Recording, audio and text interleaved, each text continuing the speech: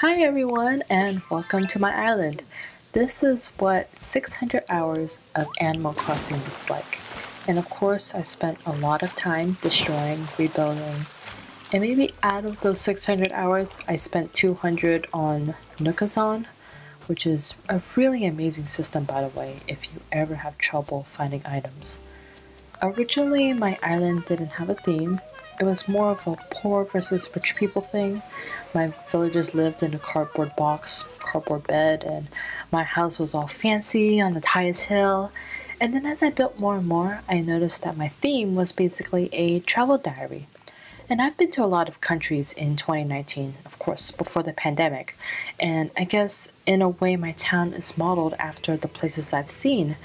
And that's to say that I'm not trying to build an accurate replica of these places, you'll see that a lot of these setups are definitely more of a mix of cultures rather than trying to be a perfect representation of the culture. So, this is my travel diary island, and I'm going to give you a grand tour. Now, first things first, I have this very cliche Shibuya entrance. Not an original idea. Um, for those of you who have been following Animal Crossing community, you see that a lot of people have been looking for the QR codes to this. Um, but I do love Japan, and I do think it's the best use of the small space between the airport and the plaza.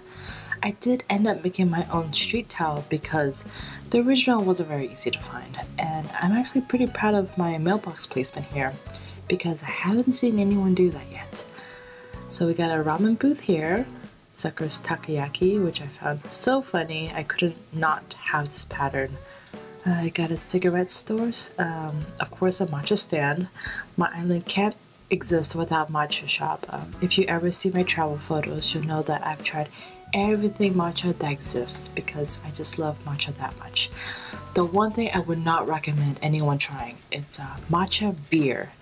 Yeah, uh, it just doesn't taste right. It tastes as bad as it sounds. So over here we got a tiny alleyway. I like it because you really have to squeeze through it and it makes the perfect hiding spot. Uh, one of my friends says that this is his favorite part of the island because he just he laughed his ass off when he saw that I placed a toilet in the hidden corner. Uh, you can't really see it with the tree in the way, but yeah, it's that white thing. Now we'll come up here to my second floor PC bang. Very proud of this, 100% original idea.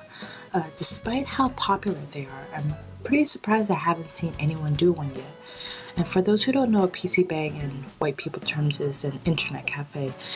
Basically extinct in Western countries, still very popular in Korea and some Asian countries. Uh, I recently wrote a paper on PC Bangs, so I can tell you a lot about them.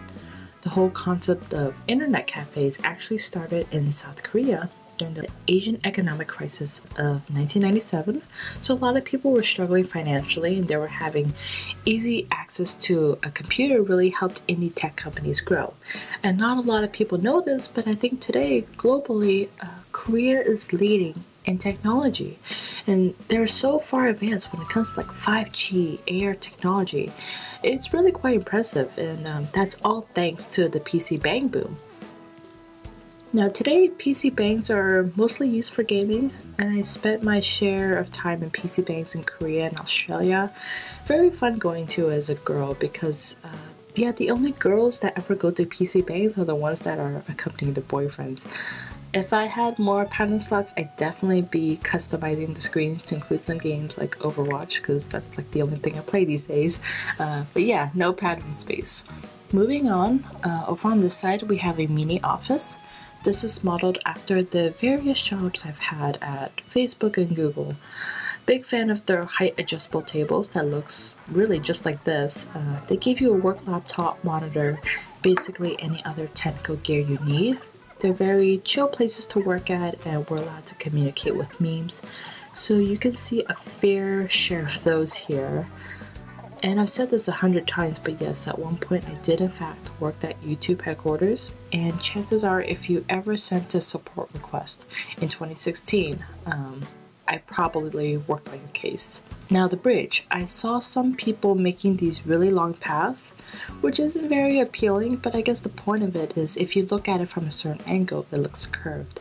So, if you add some fences to it, you get this really cool long bridge And that's the thing with a lot of photos at Animal Crossing, right? Like they really only look good from exactly one angle.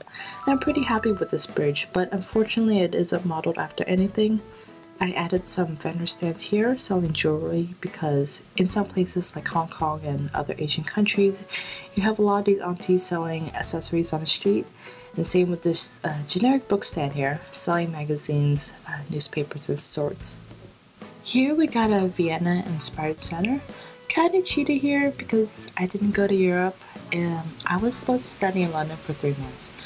And then the world went on lockdown a week before my flight, so I don't really know what Europe looks like. Uh, there was this very beautiful Venezuelan inspired photo circulating in AC community with this pattern, so I basically stole it from there. Ironically, the original creator already destroyed that section of our island. But yeah, nothing fancy here. I like the carnival color scheme of these items. Got a little Ferrari station here because Europeans love the cars. I also made a fishing port here not modeled after anything, but I did see this really cool Japanese themed island, and they have a fishing port in the middle of nowhere. So I decided to use that, um, the best of the space, and make one too. And there is fish that spawns in this spot, so I'm pretty proud that it's functional. I got a food booth here that is modeled after the Seaside Bakery in Newport Beach. The inside joke here is that one of my good friends always goes to Seaside at exactly 2 a.m it, it has to be 2 a.m. Um, he always gets green Thai tea and ham and cheese croissant. I don't have a croissant pattern, but it is a donut bakery, so this will do. And he would be driving from like LA, Garden Grove, Irvine, doesn't matter. You can always find him here at least once a week at exactly 2 a.m. Now, uh, there are a lot of paths that connect on my island, so I'm trying not to repeat these areas. Uh, so we're just going to go back to the residence hall and start from there. Behind the residence hall is Matilda's house. I really wanted her because she's a kangaroo, and there's a song, I think it's after a play, uh, famous in Australian culture. It's called Matilda. So I understood that reference, and I wanted to keep that as a memento on my island. We got a rose garden in the back, which went through a lot of revisions, and ultimately I just kept it simple. Like I got the rose bed DIY before I even knew roses existed in the game. Um, so roses were a big thing in my town, and it was pretty hard getting rid of them, so I just decided to keep that one section. Across the bridge is a residential area that I'll go over later. For now, we're just going to start from the bottom. Below the residence hall is uh, kind of an extension of the plaza. Just a little relaxing area inspired by the shared economy. And as you can see, uh, rentable scooters, bicycles. Yeah, the shared economy. It's, it's been a reoccurring topic that always seems to come back to me during business school. And I think it's quite interesting how business these days is moving towards this shared and gig economy, you know, just putting value back in individuals over corporation. It's wonderful news for artists like me and probably most of you who are trying to build a career off this new framework. Now, down here is an Australian inspired area. And you're probably thinking, well, there's nothing particularly Australian about it. Yeah, I, I spent a lot of time thinking about this area, and there's not like a can of Vegemite or kangaroo statue that I could use to make this area more Australian. I do have this duck, which is uh, pretending to be a magpie. I think it's pretty darn close to a magpie, and that's uh, very Australian to me. This area is mostly based off the culture of Australia and being a very laid back country. The main cities hug the coastline, so I put it on the beach, and the beaches there are so incredibly beautiful, and the waters there are just clear blue. Now in the back I have a little concert area which is representing the Sydney Opera House. It's honestly the best way I could think of to represent Sydney. There's this very interesting backstory behind the Opera House. It was basically a failed and impossible project, to be frank. Uh, I do recommend seeing a show there when you can. It's a very lovely experience. And I have snowflakes as the background because, well, God bless this upside down island uh, that has opposite seasons, right? snowflakes and beach, you know, best way to represent Australia. I have a deck here just for chilling. It's kind of inspired by coastside restaurants like Kirk's in Mornington and Esplanade in St. Kilda. Very good restaurants, by the way. Another original idea I haven't seen anyone do yet. These are my Brighton bathing boxes, which is Melbourne's most iconic landmark. And let me just say though, it really is the most boring thing about Melbourne. I mean, it's habit if you're an Instagrammer, but that's basically it. It's just a bunch of tourists trying to show off, and occasionally some locals sitting down reading a book. It's pretty far from CBD if you don't have a car. Frankly, it's not really worth the commute. There's just so much more to love about Melbourne. It's very suburban, so it doesn't make a very ideal tourist city, but it's a very ideal place to live. Um, so clearly, if you ask where I stand on the Sydney versus Melbourne war, my vote absolutely goes to Melbourne.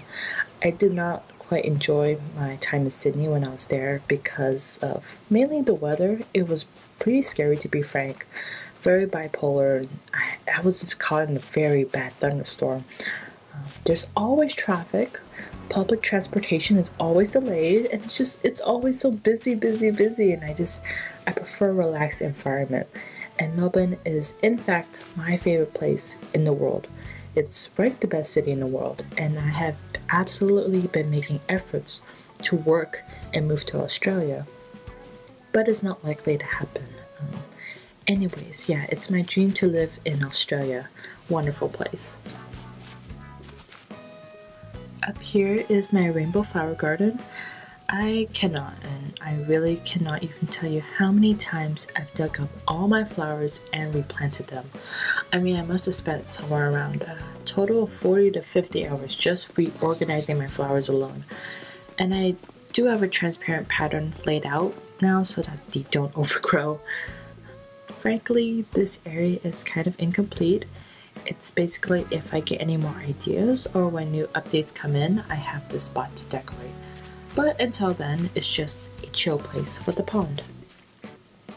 Alright, so now we're entering the SEA area, which stands for Southeast Asia. And to be fair, I've only been to Singapore, but I've done quite a number of projects based in Thailand. Um, obviously, Taiwan, Japan, not a part of SEA, but this night market is representing them as well. Night markets are such a fun experience, and unfortunately, it's not the same experience as the fake ones they hold in America. Heck, even the night markets in New Zealand, uh, those are pretty amazing. The food in Asia, definitely a lot better too. So we got a sushi stand here, some tea, ramen, merchandise. You know, you can't forget about the tacky merchandise made in China. And the person who made these food patterns, oh, they're a freaking god. Probably the best pattern designer I've seen that's not from Japan. And the seating area is modeled after Hong Kong, and they have those tacky plastic blue and red chairs and flimsy tables uh, with the white plastic coverings on it. Uh, there's a Singaporean joke here, which I hope people caught, and that's the tissue paper. Uh, I think it's pretty hilarious that Singaporeans use a pack of tissue paper to claim tables and then they just walk away. And they respect that. Like, if you try doing that in any other country, no one's going to care. In fact, they'll probably hate you for it. Uh, so there's my little culture shock, and it's uh, now a hidden joke on my island. Nothing fancy up here. I kind of just wanted a place to place all the moon chairs and rare flowers. I got this giant teddy from one of my friends who could craft it. Uh, it's such a sweet gift, so I, it gets a little place here. Next is my hyacinth farm. I basically made my money on Nookazon selling hyacinth lamps because everyone wanted them and they were so expensive. They were going for 4 to 5 NMT each, but they're pretty valuable now. Very easy to grow. In fact, they breed way too much, so if you or you know anyone who needs some purple hyacinths, just let me know. I got a lot to spare. This is probably the only area that stayed in its original state back when the Island was hobo and rich people themed. So it's not really modeled after any place I traveled, it's just a fancy resort. If anything, maybe Mexico. I do go to Los Cabos every other year, um, all inclusive, drinks every day, all day. Um, so there's my tiki bar. I got some vibe and music and a little massage deck. And if you haven't noticed by now, I do have Koroks hidden around my island. So if you ever do visit, do let me know how many you can find. There's a total of 50. Uh, some are hidden under objects, but I do place them in a way where you'll be able to see them without moving the objects. Because if I did that, that would be pretty unfair. Um, a lot of them are just hidden in a way where you have to rotate the camera at a certain angle. Now everyone's got to have a Japanese garden, right? So I tried to make this a shrine uh, with the hand wash station here. And there's a gun for the bell, the ema plaques. Gladys House makes a pretty good shrine. There's a Zen garden in the back. A little outdoor onsen area. Onsens are my favorite thing about Japan, so I had to have that there. Uh, I have the elaborate kimono and katana set here. They're just for display. Uh, tailor shop here in the back, and all the designs displayed are the ones I made. I got an Ana from Overwatch cosplay, Erica from Digimon Cyber Sleuth. I'm not a great designer, and I'll probably spend some more time coming up with better designs now that I'm done designing the island. We are now going to go out this way and we have this area that's only accessible by ladder.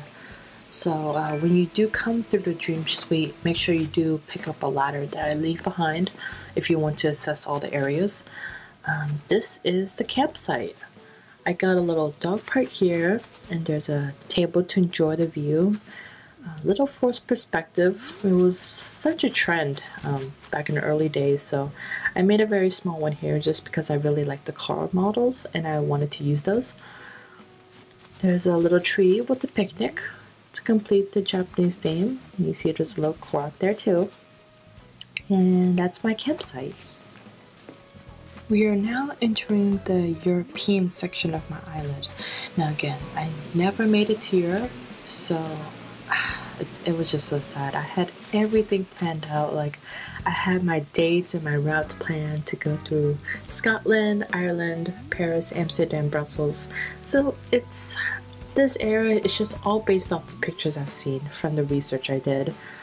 This is my Amsterdam and Paris inspired cafe a lot of their photos are of bikes crossing the bridge and beautiful cafes on those bridges overlooking the river. So that's why I made this riverside cafe with the bridge.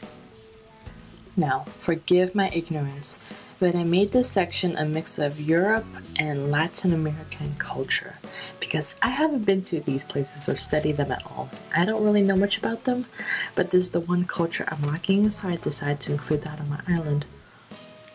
I always had this ice themed party deck on my island. I just decided to make it match the Spanish tiles. I have the infamous infinity pool, just like everyone else here. And this area is modeled after Santorini.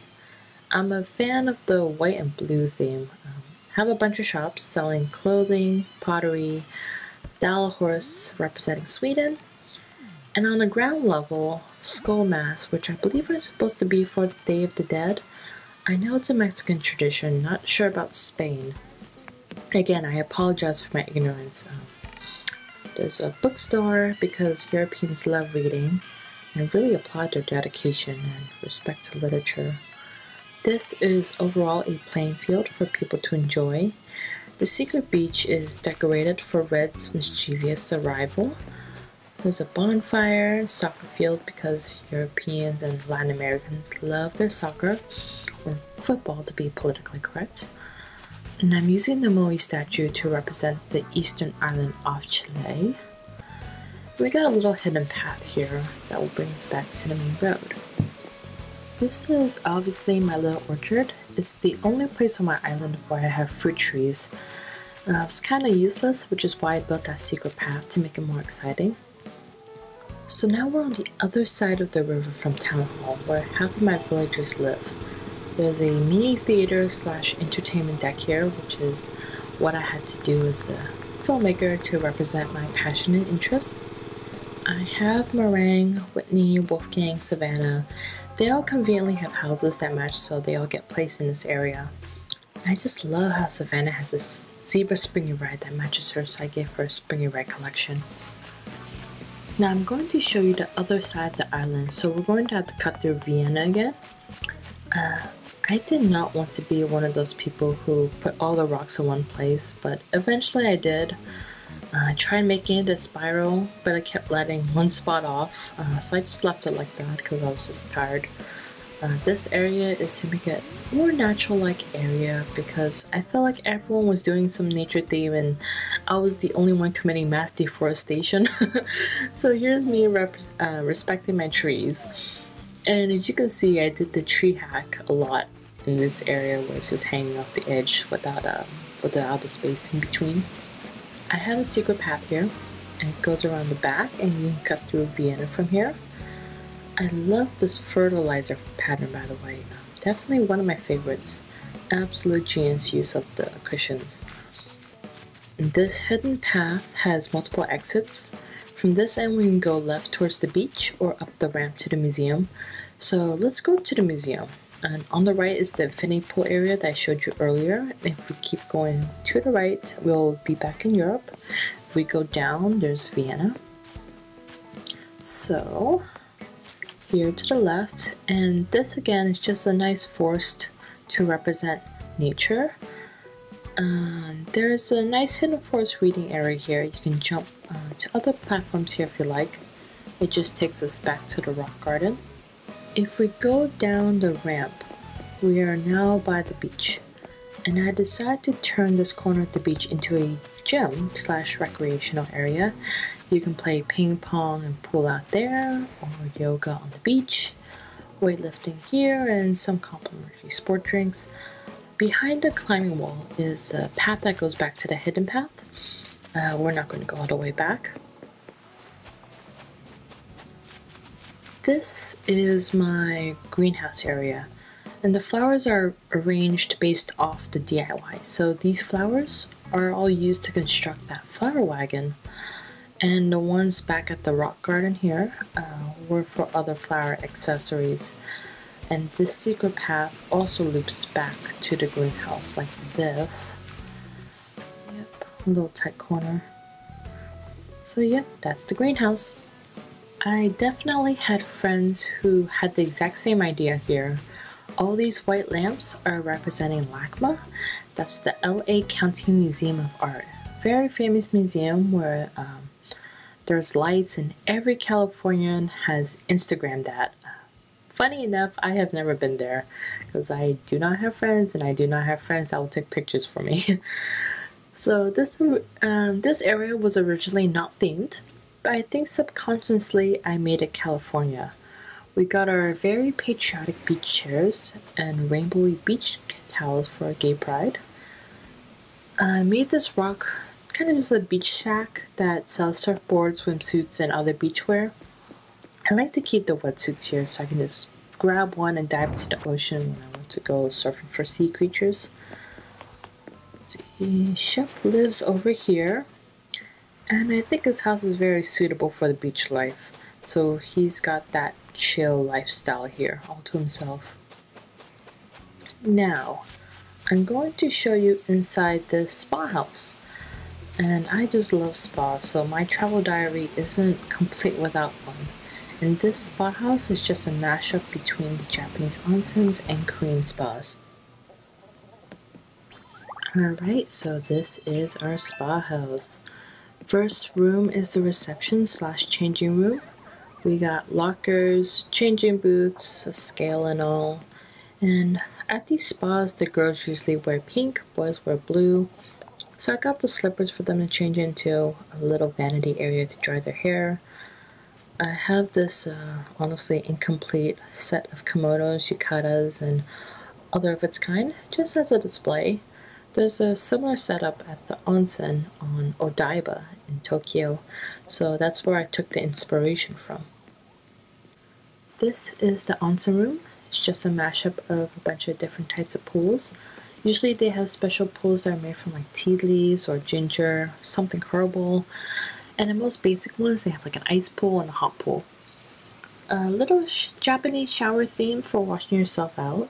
Always shower before entering the pools. Now for the room at the top, it's kind of an extension of the changing room. We have sinks for guests to brush their teeth, wash their face, And usually in the Korean spas, they have chairs by the pools for you to relax. So that's where this idea came from. And also a couple more showers in the back.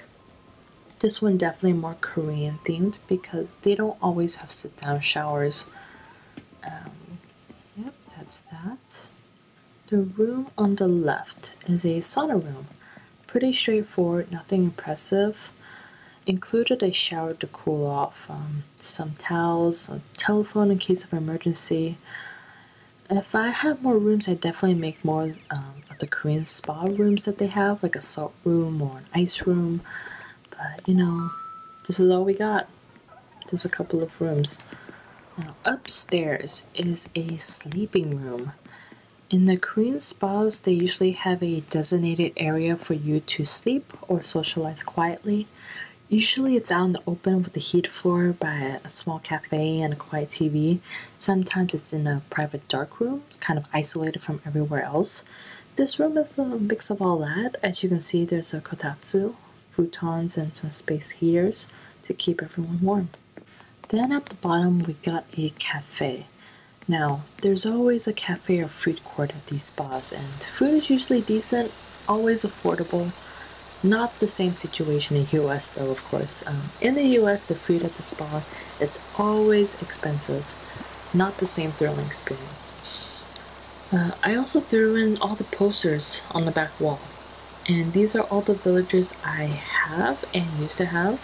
Definitely bought most of these off Nookazon because my villagers just don't like me that much. Um, a little wash basin because in Japan, there's usually a hidden hand washing station for customers at the restaurants. So, yeah, and that completes my spa house. I hope you enjoyed that. So, we've basically covered the entire island now. We're going to be making our way to my house if you care to see it. Um, honestly, I didn't put that much effort into decorating my house. I feel like the fun of New Horizons was all about decorating the island and not inside the house. So down here we got just a nice bamboo themed resting area. As you can see, my Nooks is disguised as a 7-Eleven. I absolutely enjoyed buying onigiris and lemon sour beers on the way back to my Airbnb every night. So that's my kudos to 7-Eleven. Now here we got a little arcade shop because Japan is not complete without an arcade definitely the friends I traveled with to Japan, they love these crane games and game shops, so kind of had to include that in my town. And my house is hidden in between the somewhat of an alleyway behind Nooks, and it connects to the office area because, you know, work life balance, right? and that's the tiny little Hawaiian area just for a relaxing view. And up here, you can climb into this area, but it's just trees and bushes, and on the other side is the spa house. And that's the area surrounding my house. Now let's go inside. My main room is basically a loft slash mini studio. It's decorated with the antique set because I just wanted to be a little unique from everyone else. Um, I don't see a lot of people using the antique set. I can access the wardrobe and the mirror easily here and the bed for the dream suite. Working in the kitchen. Um, yeah, just like a true millennial, right? So let's go to the back room. And the back room is a gaming room. We got the Switch hooked up to the TV, some board games, piano, and a cooking view of the city. The room on the right is my bathroom. Pretty happy about how much I was able to fit into this tiny room. Very steamy, cozy, and got another tub here because I just love baths that much. I'm pretty happy about um, how this turned out because originally I wanted to be dark gray themed and white was definitely the last thing I thought but just like everyone else I wanted to use that cloud floor and so I did. Room on the left is kind of guest room, playroom. It's for reading, relaxing, you know, if you just want to have some girl time, do your nails. Uh, we got a loft bed for the lucky person staying in this room. And if you look up, you'll notice that I got my town flag on a hanging scroll. Not really proud of this being my town flag, by the way, but it's just a lack of pattern space, you know, I just don't really want to dedicate a pattern just for my flag. So I just work with what I have, and you know, this kind of does it. bottom floor is my dragonfly bar. Yes, I have a bar in my basement. And this is inspired by the Dragonfly bar in Hong Kong, and I integrated the horoscope set uh, to create this fancy bar. It's kind of a hidden gem, but it, you know it's another place Instagrammers flock to. They serve really good drinks and uh, they have very nice vibes. So if you ever go and you hate people, you hate crowds like I do, uh, it's good to go right when they open. I think they open at 5 p.m. Uh, yes, it's very calm and a nice getaway from the crowded LKF area if you're ever in Hong Kong. Lastly, my top floor is my cafe lounge. Now, I did the generic thing of having the ironwood set for my kitchen, but I'm very proud of the fact that I was able to squeeze in the full rattan set on the same floor. So there's two full sets in this room for this very comfy yellow-blue contrast lounge, green accent. Very proud of it, yeah. It was the first room I created, and I haven't changed it since, which has been about four months now. So it's perfect as it is. And ladies and gents, there you have it. That's my entire Animal Crossing island. Now feel free to visit my island for yourself with the Dream Suite code. Remember to pick up a ladder if you want to have the full experience. Thank you for watching and feel free to leave your comments.